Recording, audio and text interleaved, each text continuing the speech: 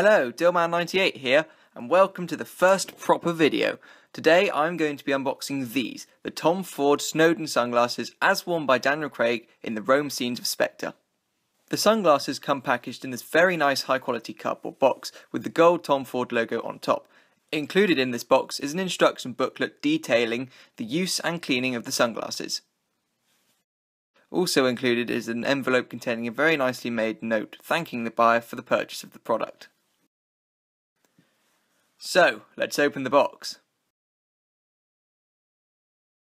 The sunglasses case is very strong, sturdy, and bomb-proof, and will protect your sunglasses in the event of a nuclear explosion.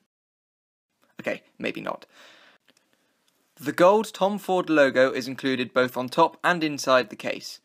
Everything about this case is perfect, right down to the satisfying shut.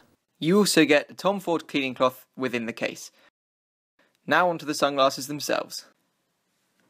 The Snowdon sunglasses are very nice indeed. They are based on the classic Wayfarer frame but are so much more comfortable to wear than, say, the Ray-Ban Wayfarers.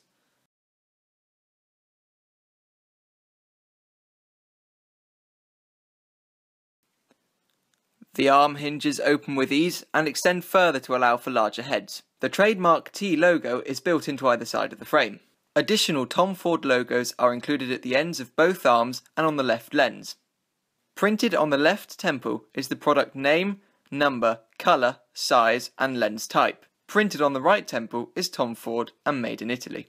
Overall, these are a fantastic pair of sunglasses, and I would certainly recommend them to anybody.